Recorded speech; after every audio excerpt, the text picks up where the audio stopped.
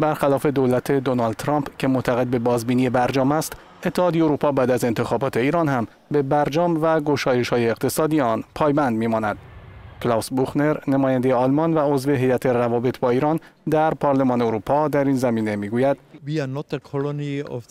ما مستعمره آمریکا نیستیم. ما سیاست مستقل خودمان را پیش می‌بریم.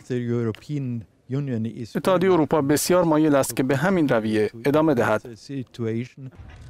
به جز پرونده هسته‌ای وضعیت حقوق بشر در ایران نیز در روابطاتی این کشور با اتحادیه اروپا مطرح است مجید گلپور تحلیلگر دانشگاه بروکسل می‌گوید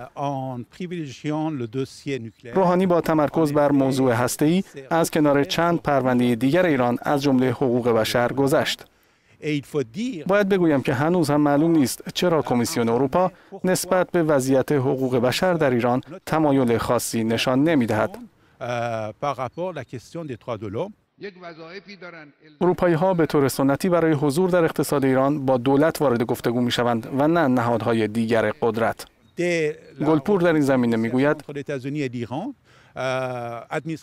دولت اوباما به محض از سرگیری گفتگوها با ایران متوجه شد که قدرت اصلی در دست کیست و پیوندهای مستقیم خود را با رهبر ایران برقرار کرد. حتی چین و روسیه هم اگر در مورد مسائل منطقه‌ای بخواهند گفتگو کنند مستقیما با دفتر رهبر ایران در تماس هستند. اروپا می‌خواهد ضمن وفاداری به برجام همچنان با دولت ایران در تماس باشد. اما باید دید رئیس جمهوری بعدی ایران خود تا چه حد به این توافق پایبند خواهد بود.